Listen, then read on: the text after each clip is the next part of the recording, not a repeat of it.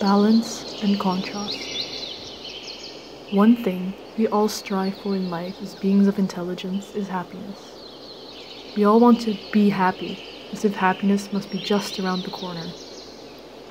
But as much as we want to be happy all the time, too much of anything ruins it. And this saying applies to being happy in life as well. If we are happy all day, every day, then slowly but surely, being happy will become normal for our brains it will grow more and more difficult for us to actually feel happiness over time. So, right alongside happiness, sadness is very important too.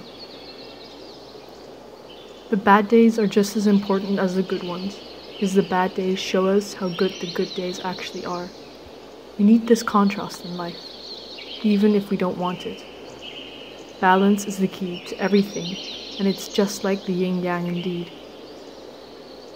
So the next time you find yourself in a dark place being sad, be happy instead. Because now you have the room and opportunity to grow, make change, and improve from that point onward. Remember, once you hit rock bottom, there's nowhere to go but up.